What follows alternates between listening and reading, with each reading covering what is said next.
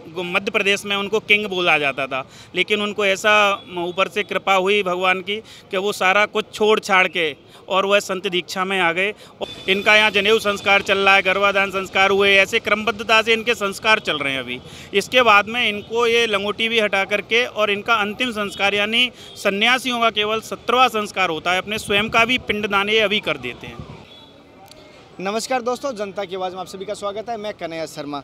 जैसे कि आपको बताता हूँ जैसे अभी विश्व का सबसे बड़ा महाकुंभ का मेला है उसका दर्शन करूँगा लेकिन जैसे अभी यहाँ पर जैसे सन्या, सन्यासी बन रहे उनका एक बार इधर लेना थोड़े एंगल पे बैकग्राउंड में आता रहे। थोड़ा हमारे यहाँ संत जुड़े उनसे जानकारी लेते हैं पहले। जो ये अभी क्रिया हो रही है क्या हो रहा है यहाँ पर? विशेष तौर पर बताइए हमारे ये हमारा जो संत दीक्षा में आते हैं उनको संन्यास दीक्षा दिलवाई जाती है। संन्यास दीक्षा में भी यहाँ संस्कार होता है। ये संस्कार दीक्षा चल रही है इनकी। जब तक ये संस्कार नहीं हो जाता है, वह सन्यासी नहीं माना जाता है। गुरु मंत्र ले लेते हैं, वहाँ महात्मा और संत की दीक्षा में आ जाते हैं। लेकिन ये आज जो चल रही है, इनका ये सुबह आठ बजे से ये प्रोसेस चालू है इनका, और कल सुबह तक चलेगा। ये इनकी बहुत ही मतलब कठिन परीक्षा है। इस परीक्षा में कई लोग मतलब सम्मिलित भी नहीं हो पाते हैं हट भी जाते हैं बीच बीच में से और जो सफल हो पाते हैं उनको संन्यास तर, पूरी तरह उनको दीक्षा दी जाती है और यहीं से ये नागा संत बने जाएँगे। नागा संत बनने के लिए इनका जैसे भी तो इनके लंगोट पहन के रखी है फिर अभी इनका जो अपने सोलह संस्कार होते हैं हर मनुष्य के हिंदू धर्म में सोलह संस्कार बताए गए हैं। यानी अपने जन्म से लेकर और मृत्यु तक सोलह संस्कार होते हैं। यहाँ उनके अभी ये संस्कार चालू हुए हैं। इनका यहाँ जनेऊ संस्कार चल रहा है गर्भाधान संस्कार हुए ऐसे क्रमबद्धता से इनके संस्कार चल रहे हैं अभी। इसके बाद में इनको ये लंगोटी भी हटा करके और इनका अंतिम संस्कार यानी सन्यासियों का केवल सत्रहवा संस्कार होता है अपने स्वयं का भी पिंडदान ये अभी कर देते हैं। अपने जीते हुए जी अपने स्वयं का पिंडदान कर देते हैं। यही तो संतों की हमारे भारतवर्ष की भूमि तपोभूमि इसीलिए कहा गया है ये ऋषियों की ही तपस्या है कि जीते जी वह अपना भी पिंडदान कर जाते हैं। इसके बाद उनको किसी के लिए अगर कोई परिवार या संत या कोई भी इनको पिंडदान करने की भी ज़रूरत नहीं पड़ती है। इसमें क्या क्या उम्र के अभी संत दीक्षा ले रहे हैं? इसमें बहुत छोटी उम्र के भी संत हैं। जैसे कि अभी कोई संत हमने अभी मेरी भी बात हुई तो पाँच साल से लेकर के और अस्सी साल तक की उम्र के संत हैं नब्बे साल तक की उम्र के संत हैं। पाँच साल की उम्र के छोटे से छोटा संत बन रहे हैं और अस्सी साल की उम्र भी संत बन रहे हैं जैसे इन्होंने बताया। वहाँ उनसे पूछा भी। छोटे जो संत मिले उनसे मेरी चर्चा भी हुई तो उनने बहुत ही अच्छा जवाब दिया। वो जवाब सुन के आप भी मतलब बड़ा आश्चर्य लगेगा मैंने उनसे पूछा भी कि भाई आप इतनी छोटी उम्र में ही संत क्यों बन रहे हैं? तो उनके बहुत ही मधुरवासी आवाज़ में उनका यह जवाब था कि हम आए ही इसीलिए हैं। आए इसीलिए संत बनने के दुनिया में देश का या संसार का या राष्ट्र का विकास के लिए हिंदू का विकास हिंदुत्व के विकास के लिए क्या संत बनना ज़रूरी है क्या? जहाँ ऐसा बताते हैं कि हमारे अगर जो सनातन धर्म है अगर ये हमारे संत नहीं होंगे तो ये हमारे धर्म को कोई आगे बढ़ा ही नहीं सकता है। क्योंकि संत ही हमको आगे मार्ग देते हैं कि किस पद पे चलना चाहिए और हमारे धर्म को आगे बढ़ाने के लिए संतों की प्रमुख भूमिका है।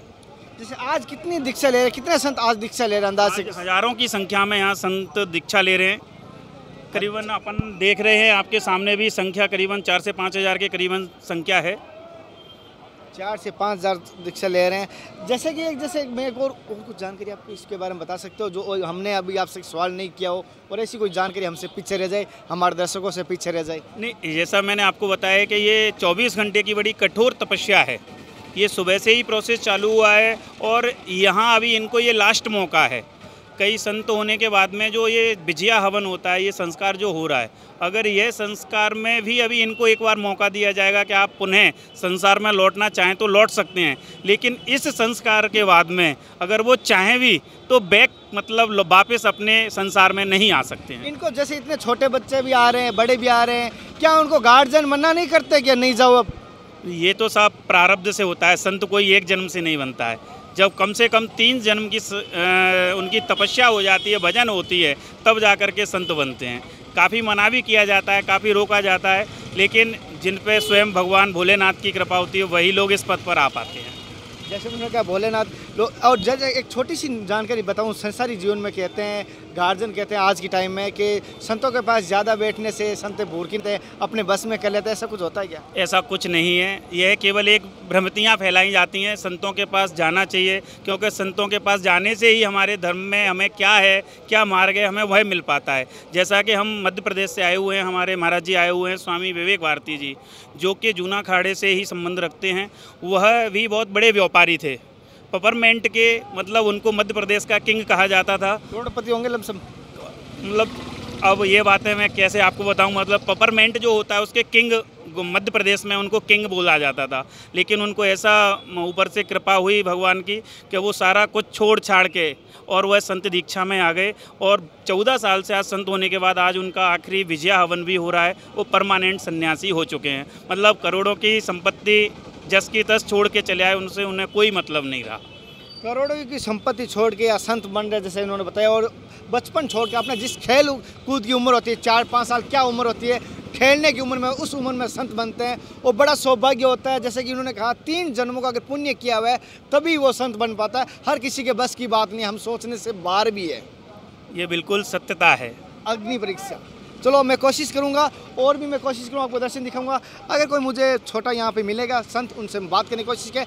हमारे द्वारा दी गई जानकारी कैसी लगी, कमेंट द्वारा ज़रूर बताना। ये दृश्य आपको देखने का मिल रहा है। महाकुंभ में अगर जो वक्त नहीं आया है, उनको यहाँ से लाइव दृश्य हम दिखाने की कोशिश कर रहे हैं। दोस्तों, अपने विचार कमेंट द्वारा ज़रूर बताना। फिर मिलते हैं नए टॉपिक के साथ। तब तक जय हिंद, वंदे मातरम। हर हर महादेव।